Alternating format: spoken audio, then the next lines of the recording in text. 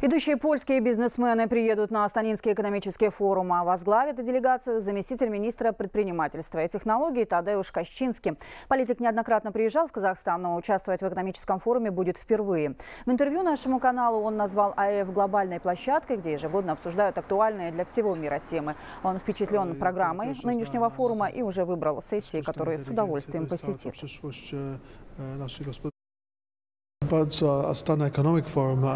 Я считаю Астанинский экономический форум интересным и важным событием не только для Казахстана, но и для всего региона.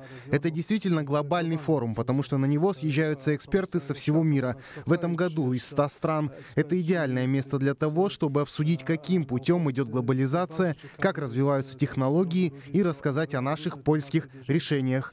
На этом форуме будет очень много интересных сессий. К сожалению, не получится посетить все. Мне интересна тема индустрии 4.0, а это интернет-технологии и обработка данных. Искусственный интеллект — это действительно будущее нашей экономики.